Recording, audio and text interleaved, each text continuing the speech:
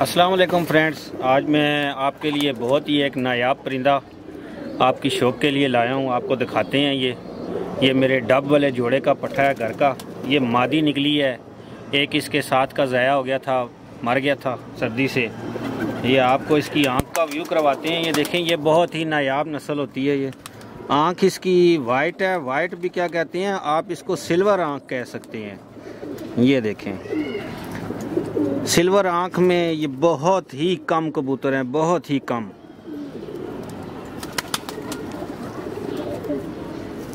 یہ اس کا شوق کریں آپ، اس کی آنکھ کا ماشاءاللہ۔ پیر سلور، وائٹ آنکھ نہیں ہے، یہ اس کی اس کی سلور آنکھ ہے۔ بہت ہی زبردست۔ یہ اس کا کندہ، ابھی یہ بارش گزری ہے دو دن پہلے، کندے خراب ہوئے ہوئے ہیں۔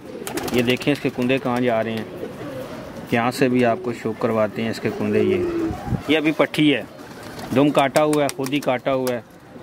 پنجہ اس کا یہ دیکھیں۔ ایک ایک رنگ پنجے کا علیحدہ علیحدہ نظر آ رہا ہے کلیئر جوڑ اس کا ماشاءاللہ اتنا فٹ ہے، زبردست ہے کہ آپ ماچس کی تیلی بھی اس میں سنٹر میں رکھ سکتے ہیں اس کی۔ اس کا جوڑ اتنا زبردست ہے۔ کوئی کھلا جوڑ نہیں ہے۔ جڑے ہوئے جوڑ ہیں اس کے۔ جوڑ بھی بہت مضبوط، ہڈی بھی فٹ ماشاءاللہ یہ اچھا انشاءاللہ یہ اچھی پرواز دے گی۔ لیکن میرا دل نہیں کر رہا اس کو اڑانے کا، کیونکہ میں سوچ رہا تھا کہ اس کو آگے جوڑوں میں ڈالوں۔ کیونکہ میرے پاس وہ ڈب والا جوڑا ہے، یہ سلور آنکھ والے ضیاء نہ ہو جائیں۔ ایک دفعہ موڑی بن جائے نا، تھوڑی سی اچھے کبوتروں کی، بندہ پھر اڑانا شروع کر دیتا ہے۔ یہ دیکھیں۔ یہ سلور آنکھ میں بہت ہی مشکل سے ملتے ہیں یہ۔ یہ دیکھیں۔ پرواز میں تو ماشاءاللہ یہ بے مثال ہے، وہ جوڑا میرا اپنا اڑا اڑایا جوڑا ہے، لیکن اس کی پٹھی یہ ایک بچی ہے، ایک مر گیا تھا، مجھ سے پٹھا۔ یہ۔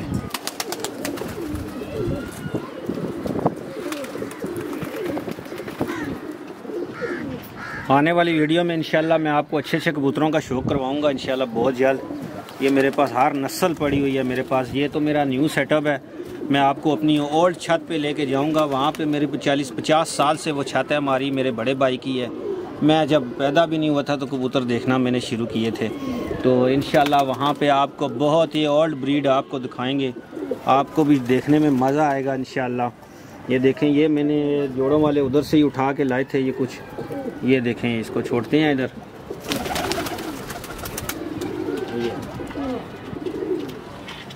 اوکے فرینڈز اپنا خیال رکھیے گا اور دعاؤں میں ضرور یاد رکھیے گا اور ہمارے چینل کو بھی ضرور سبسکرائب کیجیے گا۔ اللہ حافظ۔